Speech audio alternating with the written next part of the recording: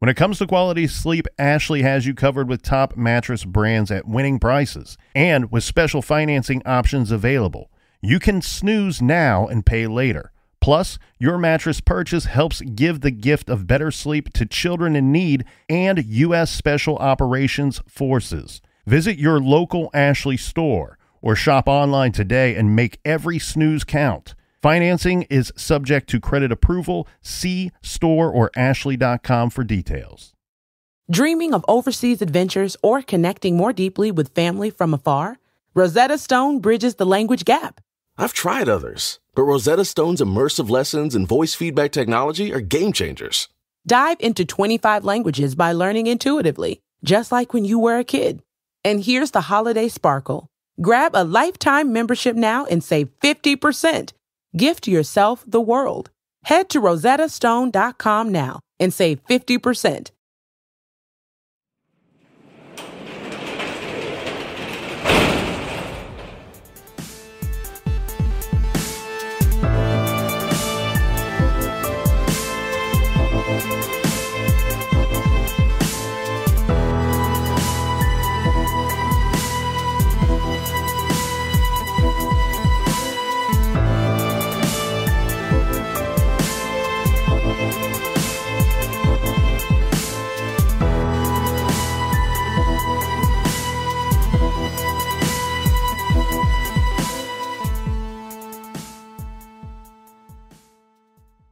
Welcome to the Garage Party, wherever you are and whatever you may be doing. Thank you for listening and thank you for joining the party. I'm your host, Nic, and with me, as always, co hosting and master of ceremonies, ladies and gentlemen, the captain. It is good to be seen and good to see you. Thanks for listening and thanks for telling a friend. What a beautiful tuxedo you have there, Captain. This week, we will be rolling out the red carpet as we celebrate you, the listeners, us, the host and your favorite garage studio. This week marks a very impressive podcast milestone of 500. That's a five followed by two zeros episodes. And to celebrate this most impressive of milestones, we will count down our 10 greatest true crime garage trailers of all time. That's right. It's a feature of our show that most true crime shows don't have. Each week, the captain composes some great music and pulls a clip or two, or maybe the colonel does a little write up for that week's case. Each case that we have covered here in the garage is unique, and each week, the trailer that we put together is just as unique as the case that we are covering. So, please join us, won't you, as we celebrate you, the listeners, for making this possible.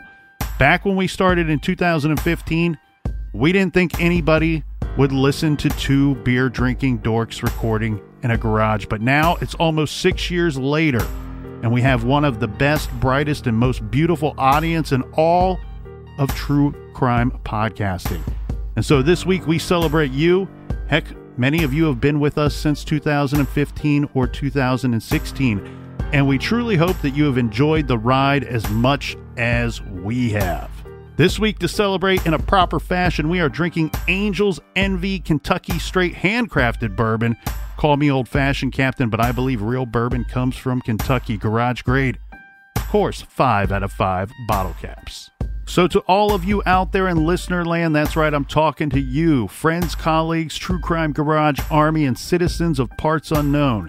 Wherever you are, whatever you are doing, raise a cup, your glass, a tall can be it bourbon, coffee, wine, beer, or soda, because this one is for you. Let's talk some true crime. 10.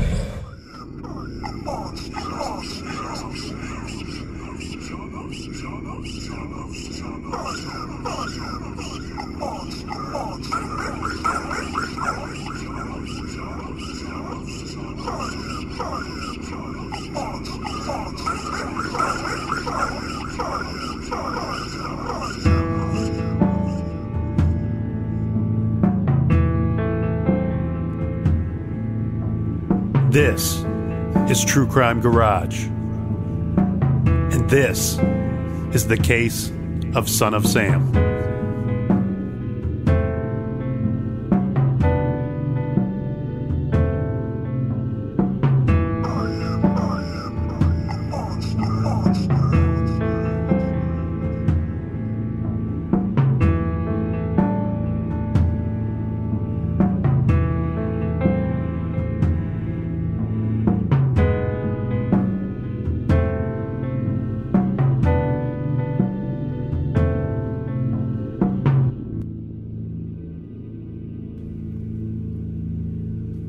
I am deeply hurt by you calling me a woman hater.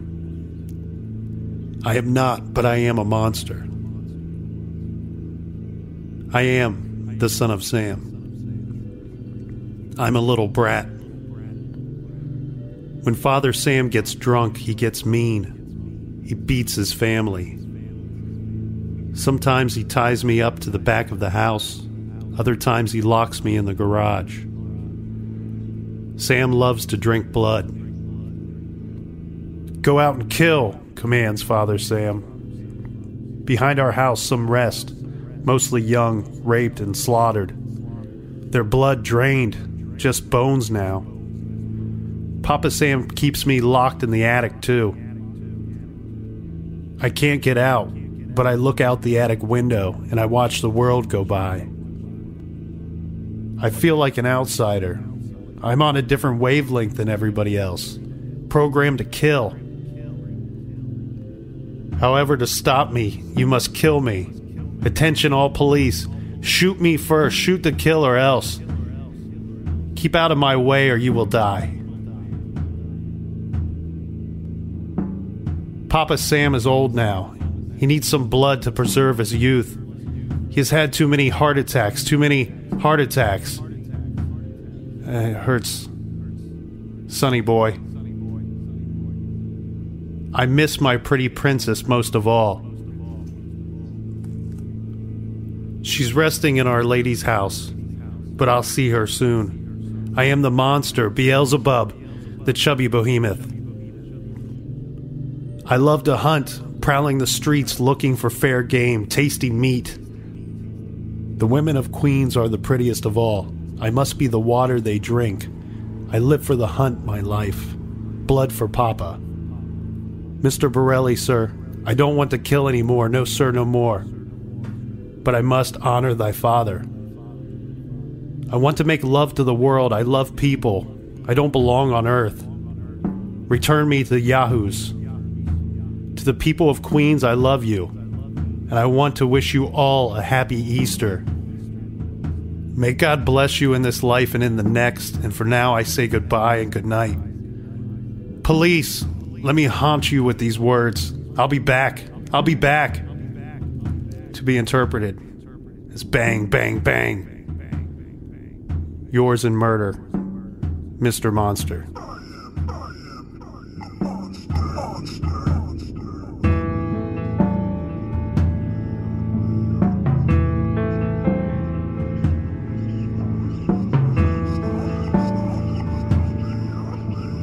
Can't believe that one is only number 10. Because when you say the chubby boo, when you Chubby say behemoth. chu- the chubby behemoth, Hey, I just said it. Uh, David Berkowitz wrote it. yeah, but you won the the Emmy for that.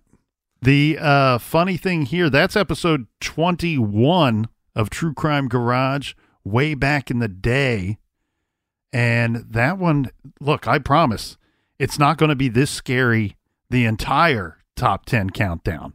I mean, between the, the your friend over here that is weird me out that you invited into the garage to to count them down 10 10. that guy Mortal Kombat. he refuses to tell me his name. He's just staring at me weird.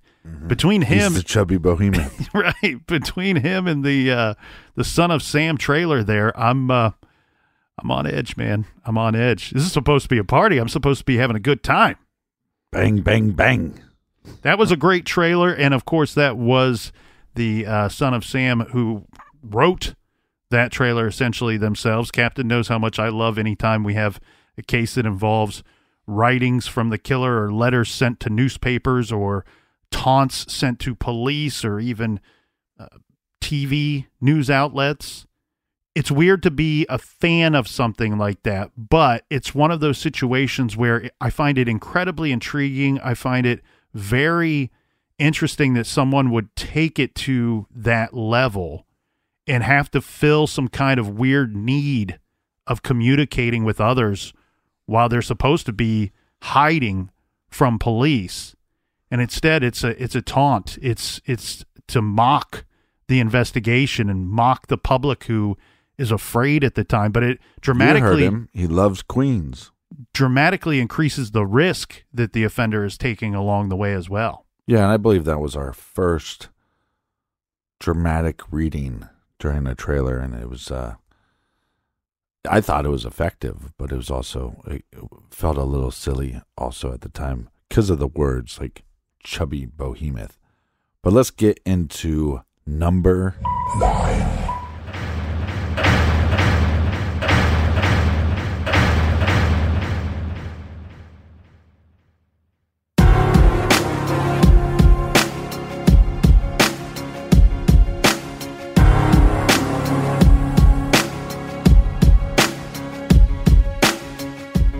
And the media make you think that a black man arming himself is illegal or criminal, or that he wants to arm himself to rob a liquor store or something.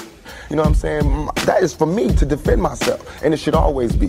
It's just about surviving, you know, and we have to be honest about the tools that we use to survive. And why is a black life um, any any more recoupable than a white life? You know what I'm saying? We know that they don't put the same security in the ghetto that they do in the whites in the, in, in the white neighborhoods. So therefore, for me to be out here saying don't, you know, put your guns down and no violence, that's hypocritical. And if I didn't talk about the violence, everybody would act like the violence wasn't there.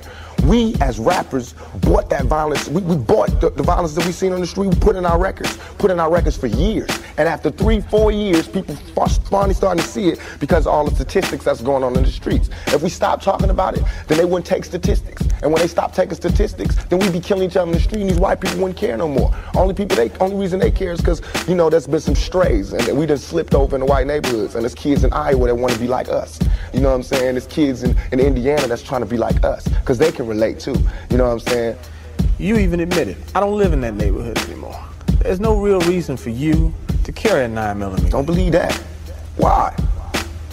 In, in two years, I've had a gun pulled on me by my limo driver, by police, by everybody. You know what I'm saying? And I better be. I better be. You know what I'm saying? I've been attacked. You ain't read the papers about these skinheads trying to blow up black churches. Why?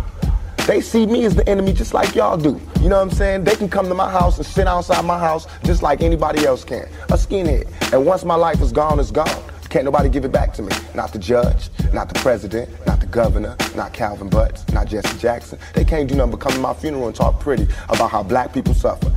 And once my life is gone, it's gone.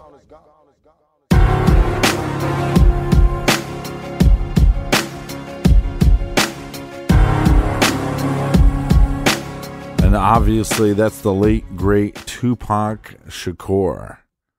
Those are episodes 112 and 113. If people want to keep track, keep score at home, and go back and check out some of the old episodes, maybe we are presenting trailers to you that you are hearing for the first time today.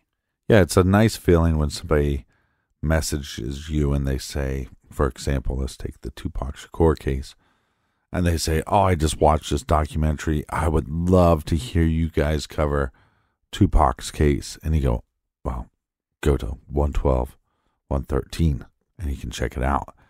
And they get so excited because they don't have to wait. They don't have to go, Oh, well, maybe they'll put it on the list. Maybe they'll do it in a couple months. Oh, it's already done. Awesome. And also i think it's just a nice feeling i think when we started doing the podcast it was just to see if we could do it i don't even remember if we ever talked about putting it out like before we we tried. Before we sat down, flipped on microphones. yeah it was just simply hey would you like to try a podcast? Would you like to try to do one? Not let's put it out for the world to hear. And then once we did a couple we're like well let's just put it out and see what happens. And 500 episodes later. The people that we meet at CrimeCon that tell me they're like, you know, I've been with you guys since the beginning. I give them an extra big thank you because I'm like, you are a very Forgiving. understanding and patient person. We used to get up in the middle of recording and go get a beer and keep talking on mic. So it's it would sound like this: Hey, uh, I'm going to go to the fridge, and uh, I'm coming back, and now I'm back, and here I am. And I think you cleared it up and said it better than I did. I said, you know, when we started this, we didn't think anybody would listen to two guys in a garage. Uh, but you're right. We're recording it not even with the idea of putting it out or releasing it to the world at the time. Uh, it was just something to set up and see if we could do. And if if it's painful to listen to one or two of those first early episodes, it's because we're in pain. We're sitting We in a, a in garage pain. that was like 110 degrees. and the beers dripping. yeah, the beers were necessary just to try to keep us uh, cooled down to the point that we wouldn't Hydrated. expire during the the actual episode itself. And while we're doing this here, Captain, I want to make sure we give out some uh, beer fund shout outs along the way. So, raise of the glass. We're going to be raising the glass many times this week as we celebrate. But a cheers to Lace in Austin, Texas, and a cheers to Jennifer in Avon Lake, Ohio. A lot of cool, a lot of beautiful people on Avon Lake. You know, I have a question because, I mean, we get some analytics from the show, but I would really like to know where where like the craziest or like the most interactive fans are. So on the blog this week, how about you go and just put your name and, and what state you're from? Texas, Ohio, wherever. California, California. And maybe I'll do a special like we did the the Ohio True Crime Garage shirts. Maybe we'll do whatever state wins. Well, and we have a tendency to see in from the blog itself that we often get the most comments or questions about a case where people are from that area where the case took place, which is just kind of a natural thing. One thing that should have been a natural thing, Captain, is I should have went back and figured out when the first episode that we did an actual trailer for. You know, because we're kind of here celebrating these trailers. I love that we have the trailers on the show. You do such a great job putting together the music. And, you know, we've been very lucky to have such a good audience, uh, such a good hardcore audience that stuck with us for so long. But I've had some people that are, are trying to come up through the ranks of the true crime podcasting and they they want to know like that that you and I they somehow think that you and I are holding on to some very well kept secret, which is not really the case at all. But they want to know what what is it that, that you guys do that, that has set you apart from some of the others. And I actually think it's it's, the drinking. I think it's the trailers.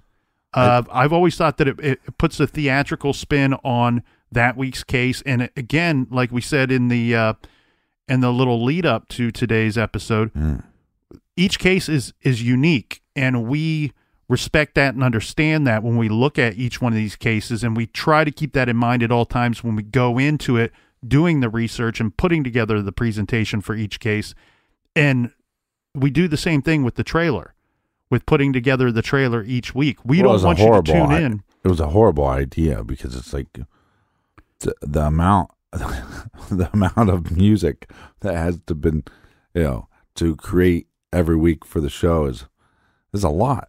Um, it, it was maybe if we would have decided, hey, every big case we'll do a trailer, every like big popular case, but the other ones we won't. It's a lot of uh, a lot of music being made for the show. Well, and those of you that have been there from the very beginning, or maybe you found the garage at some point and you went back and you binge listened to all the old episodes to get caught up, you know that we didn't always do the trailers. And in fact, back when we did Son of Sam, the episode number 21, back then it was more common for us to do a single episode for a case. Yeah. Um, and we didn't always do the beers right out the gate either. That was something that kind of happened organically. I Well, think we had the beer, we had the beers, we were drinking them, and but what they was were from everywhere. they were from everywhere. But what was funny was I was I would pick a six pack of a beer that was kind of hard to find, or at least hard to find at the time, because you were driving up to see me, and I knew it was going to be hot. Would be sitting in the garage, and I'm like, well, you know what? I'm going to get a, a beer that we both can enjoy. That's not the run of the mill everyday beer to be something kind of special. So we were always drinking a special beer, but I don't think the beer of the week popped up until there's a I think you asked me in, in one of the episodes early in one of the episodes is well what are we drinking this week and boom now there's the uh the and boom now Boom. there's the beer of the week Boom. Genius idea. Well, and also, I don't think we ever got drunk in the first few episodes because we were just sweating it all out. I mean, so if somebody goes, "Hey, man, those first episodes, you sound like a dumbass," it's like, well, I sound like a dumbass on the new episodes, uh, but I'm just a lot clearer because I have a better microphone than I had back then. That you do there, Captain. All right, a quick shout out to Justin from Hurricane, West Virginia, and a shout to Kimberly from New Woodstock, New York. And that, ladies and gentlemen, brings us to number eight. This is True Crime Garage. And this is the case of the West Memphis Three. The West Memphis Three. Damien Echols. Jason Baldwin. Jessie Misskelley. The West Memphis Three. Damien Echols. Jason Baldwin. Jessie Misskelley. The West Memphis Three. The West Memphis Three. Three children missing since last night. Three young boys murdered in cold blood. It appeared that they had been sexually mutilated. Is it your opinion that these crimes were motivated by occult beliefs? Yes. The West Memphis Three. Arrested at 2:44 p.m., charged with three counts of capital murder. It was like a nuclear bomb going off in the courtroom. In a statement given to the police, 17-year-old Jessie Misskelley allegedly confesses to watching two other suspects choke, rape, and sexually mutilate three West Memphis second graders. In 1993, the small Arkansas town of West Memphis was rocked by the gruesome killing of three eight-year-old boys. A police investigation brought murder charges against three local teens. Damien Echols. Jason Baldwin. Jessie Misskelley. This is not just Terry Wayne Hobbs. I don't know how much clearer I have to make it. None of my DNA was there. None of the West Memphis Three's DNA was there. What makes you so sure it's Hobbs? What makes you so sure that it's Terry Hobbs? Pardon me? What makes you so sure that it's Terry Hobbs? Well, his DNA was found there in the lace of Michael Moore. David Jacoby's hair was there. What did it do? Fly there on Harry Potter's wand? it either fell off of Terry Hobbs or he was there. There's no other two ways about it. None of the West Memphis Three's DNA was there. This is not just. Damien Echols. Jason Baldwin. Jessie Misskelley. Jessie Misskelley. The West Memphis Three. Damien Echols. Jason Baldwin. Jessie Misskelley. The West Memphis Three. This is not just. Just.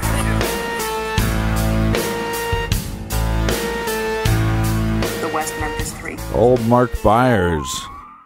And of course, those are the West Memphis three cases 40, 41, and 42. And we were just saying on off the record the other day, we probably could have done about 30 episodes on West Memphis 3 because it seemed like, especially in the early days, that that was a case that both of us loved to discuss over and over and over. Yeah, I think we were saying maybe we would just uh, go back, revisit West Memphis 3, and cover it for the next two to three, four years, however long it takes to, to figure it out. Uh, no, that was one of the first three parters that we did, as you pointed out, episodes 40, 41, and 42. And you're right. At the time, didn't it feel like three, devoting three hours, maybe a little more to a case was was a lot? Like, yeah, this is going to be heavy lifting. It's going to be difficult to put together. It might be difficult to fill the space. I think our average one parters were already starting to get into the hour 15, hour 20.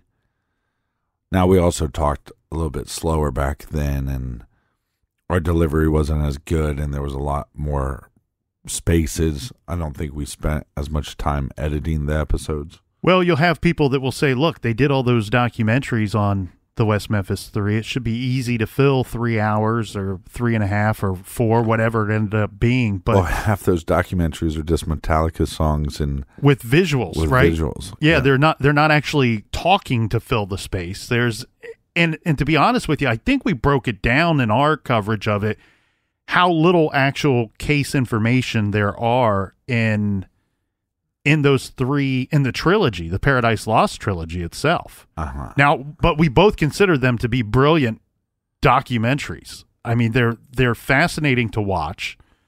I don't get tired of them. Yeah, but look, part one, episode 40, hour and 12 minutes. Episode two, hour and 36 minutes. Episode three, an hour and 51 minutes. This is, I think, at the point where I started realizing it's hard uh, with, with you know to to condense it down, and you don't want the episode to be two hours long. That's intimidating. Yeah, it's hard in the streets and it's hard in the garage. And it's hard in the streets of West Memphis. The uh, the thing too is I think we spent the majority of the second episode that it took us an hour and 30 because we were going through the timeline in such detail that we were trying to show that hey, look, while we agree that the documentaries are the Paradise Lost uh, documentaries are very entertaining and whatnot, they spent a lot of time building a case against Mark Byers, and we spent a lot of time in that second episode tearing down that case against Mark Byers because when you look and you review the timeline of events that people agree upon, that, that more than one in the inner circles of these six families involved and the police and the neighborhood and such, right? You see that there's very little time for Mark Byers to have done anything, uh, as you know, to to have harmed these boys. And of course, now all these years later, even before we covered it, we know that there are different circumstances to to look at and truly analyze during that. But it was it was something that we were happy to put together. And again, like you said, Captain, it was a case that we were very passionate about back then. We were very passionate about it in the 90s. It was it was one of those ones that we always knew we would cover it, but it was about wanting to try to cover it the best way we knew how at the time. And I think we did a fairly good job of that. At the time I thought we I thought we nailed it. I thought it was a home run. Yeah, I um, mean, yeah, and it's so part of me wants to applaud ourselves because we took on a giant challenge probably before we were ready. I mean, but let's be honest, like we said, we we started a podcast to see if we could do it. You know, not to start putting them out. So then once you get to a challenge like that, you go, "Oh, that's pretty good." But I remember the following week going, "Yeah, this is pretty good, but like we could have spaced them out more. Maybe this should have been six parts, you know, um, or or or possibly even more. And so now when I look at it, and if I mean just off the top of my head, if you said to me you need to cover West Memphis three, I'd go that's going to take you about ten to twelve episodes. Well, and that was a, a helpful learning experience for the two of us because it allowed us to know and understand for future cases that are of that size or that popularity that there's that much information out there that three isn't going to be enough. It just won't be. And look i i'm happy to applaud ourselves for what we put together back then. Of course we've gotten better. Heck if we've not gotten better from episode 40 to episode 500 then we're really we're really doing something wrong and, and really have gone backwards. There's a, there's a listener out there right now going, "Hey boys, you sound the same to me." well, hopefully they're still listening because they they love the show and love the garage. Two people that I love, Lindsay in Atlanta, Georgia, Nona. You don't hear that name very often. Cheers Oh, to Nona, Nona. in Rogers, Arkansas, which is very fitting to fall there with the West Memphis 3 case. Thank you to everybody for the B W R U N beer run. Yeah, these aren't just random names that we're shouting out. We're doing the beer fund shout outs a little bit differently this week because, hey, we're partying it up as we go through our countdown here in the garage. But everybody, if you hear your name, you helped us fill up the beer fridge for what's going to turn out to be next week, right, Captain? Because we're we're enjoying some Angel's Envy today.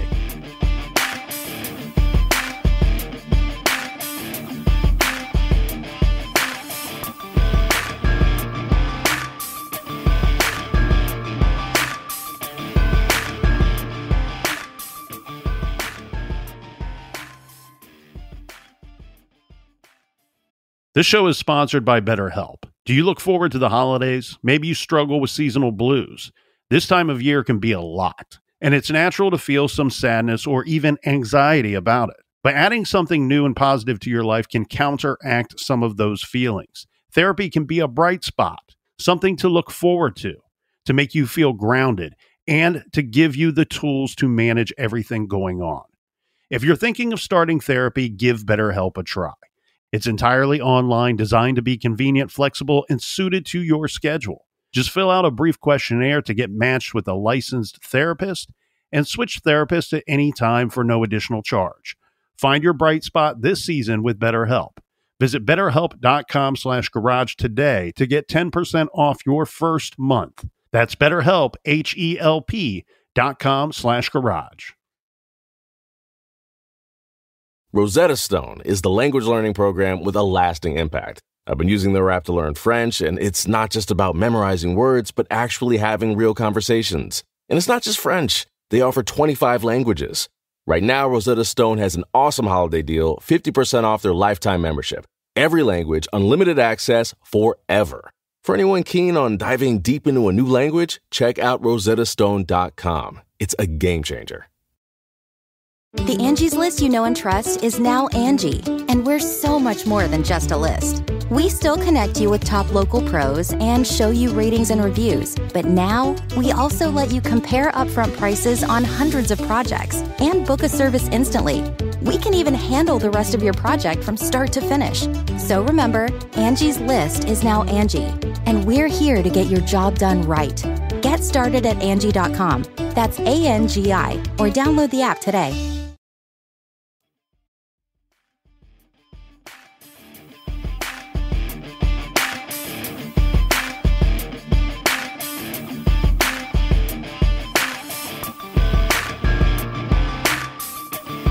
All right, cheers, mates. To the people in the back, to the people in the front. More importantly, cheers to the people being bussed in from out of town.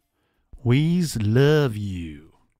Cheers to Sarah and Dan in Cincinnati and Christy, who is very mysterious, says she's somewhere between Portage and Springport up in Michigan. So I hope that that doesn't mean that she's lost up there, Captain. I'm somewhere between extremely ugly and extremely sexy, so figure that one out. Figure that out. Dial that up. Dial that one in. See what Captain you get.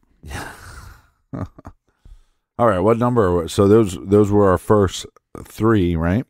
That was our first three. Yes, So- counting's not our best. No, we have we're we're drinking the hard stuff this week, or maybe it's called the easy stuff.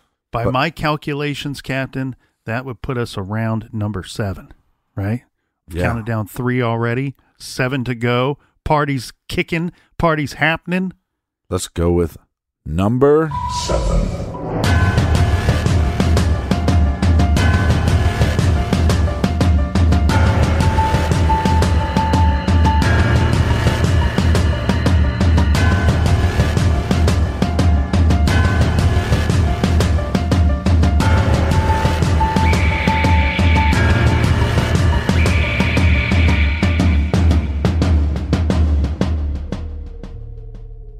Following is a BTK offender criminal profile. This profile was written several years after BTK's first set of murders. It reads The attached analysis is only as good as the information that has been provided. In addition, it may be necessary to totally change or modify this analysis if new information is developed, such as additional victims, more forensic evidence, or more information obtained from research. Multiple homicides, Wichita, Kansas. The murders of the offender known to the public only as the BTK are the result of a fantasy acted out. A fantasy where, for the first time in his life, he is in a position of dominance. He is an inadequate type, a nobody, who through his crimes has placed himself in a position of importance. The BTK Strangler is now a somebody who is receiving the recognition he feels is long overdue. He is not even very original in his crimes. He has patterned himself after other killers, such as the Son of Sam in New York City. Most of the verbiage used by the offender in his letters probably comes out of recent publications in detective magazines. The subject is alienated, lonely, and withdrawn. He would not be expected to have any lasting relationships with others and would lead a solitary existence dominated by fantasy and magical thinking. His killing is an attempt on his part to find affection and acceptance. He fears everyone, including himself. He would not be expected to have had any normal relations with women, and probably has never had a normal heterosexual relationship with one. When he is not killing, he experiences intense feelings that he is not normal, and therefore he kills to cope with this disorder, an attempt to escape within his own fantasies. Thus, he can be expected to kill again, and to do so in a compulsive repetition pattern that he has already established. His victims can be either male or female, who are both loved and outgoing. His victims will be in a position of vulnerability where he can totally render them helpless. His victims represent his own feeling of helplessness and hopelessness. His own life has been disruptive. He probably comes from a background where his family was broken. He was raised by an overbearing mother who was inconsistent in her discipline, and his father was absent, either because of marital separation or death. This would have occurred when he was a youth. Your subject may have been raised by foster parents. Your subject was an average student in the classroom. However, he was more adept to disrupting the class by using profanity and pranks. His language and statements make us believe that he has some military experience and or is a police buff. He probably has had run-ins with the police in the past, such as assault and or breaking and entering. During these break-ins, items taken will be items of insignificance these items would have been taken because of a fetish or to feed a strong urge to take an article of clothing or an item that he is fond of, or the satisfaction of committing a crime that will leave little evidence to investigators. BTK may have a history of voyeuristic activity, and he may have an arrest record for these types of offenses. He hunts his victims by selecting neighborhoods where he can peruse different houses without being detected. Furthermore, his victims will live in an area where, if need be, he can have an easy escape route, such as a neighborhood park where he can hide to elude police. His killings are impulsively motivated and without elaborate planning. He seeks out targets of opportunity. Such individuals of this type suffer from insomnia and thus find it difficult to hold steady employment. Control of himself and of his environment is essential to such a person. Although he is gaining in confidence, he is still shy, withdrawn, and isolated. As a counter strategy technique, your department must not make any statements concerning the killer's mental condition. Do not allow the media to label him as some kind of psychotic killer. If they have already done so, your best strategy will be to align yourself with the killer and not the psychiatric experts. Any press releases should clearly state that he is a killer who must be apprehended, and that he is not a psychotic animal. This approach may reduce the killer's anxiety and reinforce his own guilt feelings. This removing any psychiatric excuses for his acts and leaving him responsible for his murders. Extended periods between his murders may be for reasons when he was absent from the area, either as a result of military service, schooling, incarceration, or mental treatment. It is not uncommon for subjects such as yours to frequent police hangouts in an attempt to overhear officers discussing the case. Such offenders may be at the crime scene, observing detectives investigating the case. All of this allows the murderer to fulfill his ego and gain a feeling of superiority. He may go so far as to telephonically contact your department and provide details specific to his crimes. Your advantage in this case is his very strong self centered attitude will be his downfall.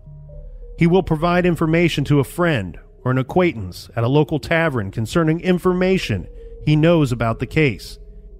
He may even pretend to be an officer working the case. He may carry a fake badge on his person. If so, he may use this to gain entry into his victims' homes. BTK will continue to kill until he is caught or killed.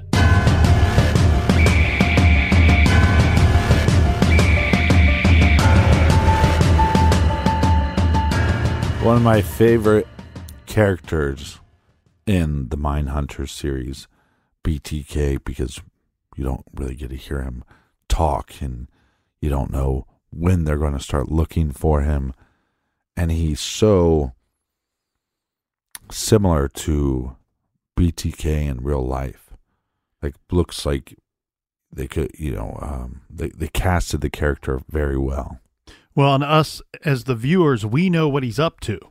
So Right. it makes it even a little more intriguing when they, you know, when they break and then they show BTK for a little bit. Maybe he's dressed up in one of his costumes. Maybe he's standing there in front of a burning barrel, tossing in pictures and drawings that he's made. Now that that trailer is a great trailer. That was from May of 2018 when we did a four-part series on the BTK, who is one of your favorite characters on the Mindhunter show, which I'm hoping season three Mm. sometime. I hope they're working on it right now. But is one of my least favorite serial killers. I hate the BTK, hate Dennis Rader, would love to squash him like a bug. That was another one of those guys that taunted police and the public with his letters and whatnot and contacting the I believe he even used the phone one time to call in something to the local media or to the police. But 2018 May is when we did the four-parter on BTK Captain. I remember 2017 and 2018, early part of 2018, we were getting a lot of requests to do more expanded uh, deep dives into these different types of cases, be it solved or unsolved. We were getting a lot of requests for four parters, and we were Mm-hmm. I missed to the four parters. we were happy to oblige. Uh, Seems like the- we haven't done a four parter in a while, but I guess a few months ago, what we did the Unabomber, right? Well, not only did I read the trailer there, Captain, for BTK, I provided the screams for you at the end of it Oh. as well. That was some of my you that's when you see a bug. some some of and, my uh, finest work. Yeah, like George. Like I swallowed a fly. What do I do? What do I do? Uh, but yeah, that was uh, some of my finest work that I've done here in the garage with those screams. Um, yeah, Unabomber, uh, not too long ago, and you're right. Maybe w- we need to hear from the people. The people will tell us what they want, The people in the front and the back. and we are happy to uh, we are happy to uh, answer all Yeah. We're almost to the halfway point. Let's get to number six.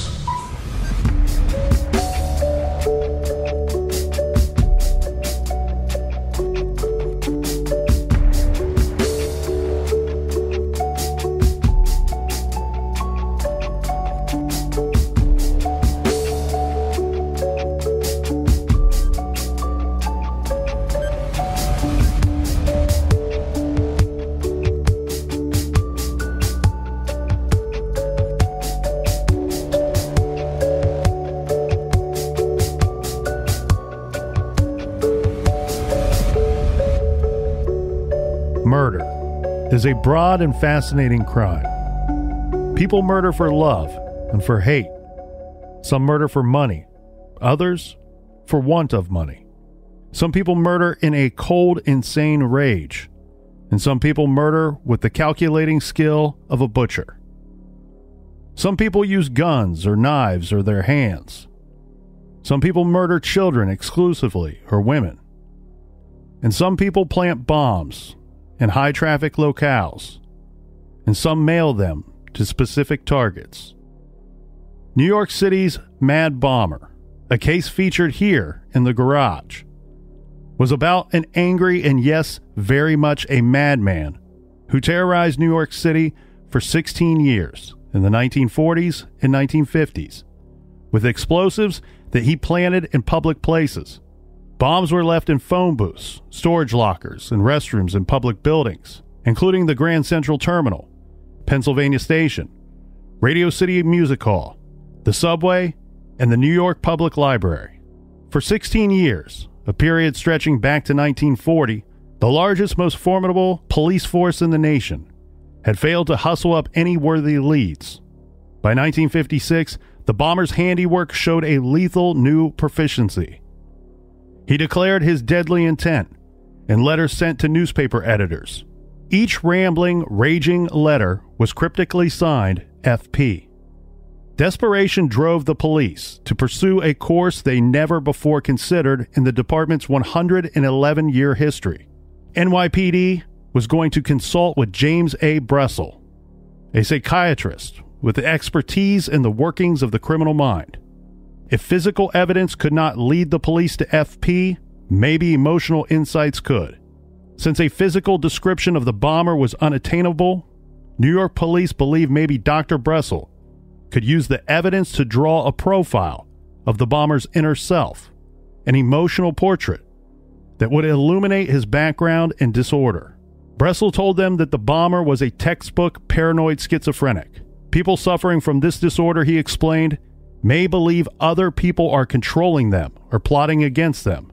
They are typically reclusive, antisocial, and consumed with hatred for their imagined enemies. For all their derangement, they're capable of acting quite normal until inevitably some aspect of their delusions enter into their conversation. The paranoiac is the world's champion grudge holder, Brussel would explain. We all get mad at other people and organizations sometimes. But with most of us, the anger evaporates eventually. The Mad Bomber's anger does not. Once he gets the idea that somebody has wronged him or is out to hurt him, the idea stays in his mind. The bomber, Brussel continued, almost surely operated as a lone wolf. Paranoids, quote, have confidence only in themselves. They are overwhelmingly egocentric. They distrust everyone. An accomplice would be a potential bungler or double crosser. Ultimately, Dr. Brussel was correct and his assessment of the evidence, which was simply the bomber's actions, words, and intent. This specifically helped NYPD identify, locate, and apprehend a domestic terrorist that eluded them for 16 years. The Mad Bomber, later identified as George Metesky, was angry and resentful about events surrounding a workplace injury he suffered years earlier. Brussel called his approach reverse psychology.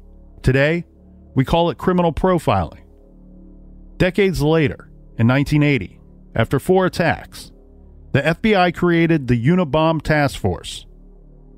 During the 80s, they failed to identify the Unabomber, and then he went dormant. The feds suspected the terrorist could be dead, but then the attacks started up again, and in 1993, things at the task force were ramping up, and a new wave of agents with differing array of expertise were brought in to work the case. Its would be assigned task force agents all received a rather large memo titled Major Case Number 75 Unabomb. For well over a decade, the FBI and other law enforcement agencies around the U.S. investigated the case they dubbed Unabomb.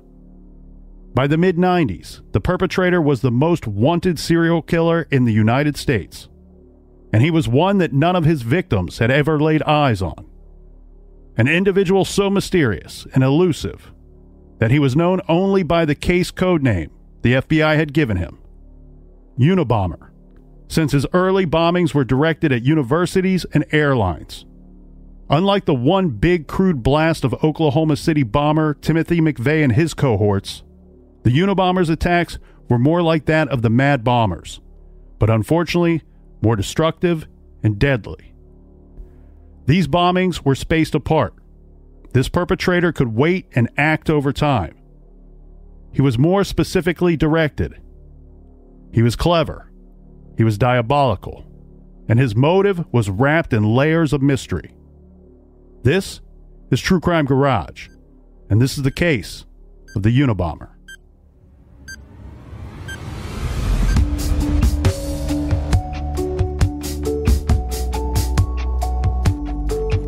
You, like Robert Stack, have a nice cadence to those thank you. trailers. And you know what? One thing we do that's just polite, you'll notice that we often say in a trailer, this is True Crime Garage. That way, if you ended up here by accident and you were looking Yeah. for a different show, we let you know so you don't have to wait to the end to find out. Yeah, I like when people go, "Hey, uh, I normally agree with you guys, but this last episode, we were we don't seem to be on the same page." Right. And they say, uh, you know, whatever case it is, and then I look it up and I go, "We didn't, we didn't cover that case." Right. Wrong show. and then I, then they go, "Oh my god, I'm so embarrassed." But you Uh, know- but we're also polite too because when we fart, we say, "Excuse me." Well, and some people, you know, maybe a lot of people listen at work or at the gym or during their commute. And Mm. you know, we're we're one of the better flavors on the block, but maybe a bunch of psychopaths just Maybe pumping people- iron, Yeah. listening to murder. People need more than one flavor and so they tune into different shows that they like and they get jumbled up sometimes and go, "You know what? You guys really really laid a stinker this week." Yeah. And we're like, "We don't we don't know what case you're talking about." We, we so didn't cover that one. please direct that stinker elsewhere. Well, True Crime Garage. What flavor are we? The drunken flavor. All right. So tomorrow we we go to the top five. Oh, prepare yourselves for the top five. The one we just heard, Unabomber, episode 482, as the captain pointed out earlier in this episode. We did a four parter on Ted Kaczynski, the Unabomber. It though look, the world would have been a better place had that guy just accidentally blown himself up during the constructions of those Yeah. bombs in his little little shack that he was living living in there. Hey, but to celebrate 500 episodes, will you please do us a huge favor? It helps out the show. Go to iTunes, leave us a five star review, and we'll love you forever. You can leave some kind words there, or you can just simply hit the five star button and submit that awesome review. We need it. We love you. We appreciate everybody for helping us to get to 499 and 500. Want to give a quick shout out to Leah and Kona, Hawaii. Sounds like a beautiful place to be. Never been myself. And a shout out to Anna in beautiful Delaware, Ohio. Uh, Delaware and Hawaii, they're very close. They're pretty much the same thing. basically the same. And don't forget to check out our other show that's taking over the world. Off the record, available on Stitcher Premium. And check everything out at the store page on truecrimegarage.com. Join us right back here at the garage party tomorrow. Until then, be good, be kind, and don't litter.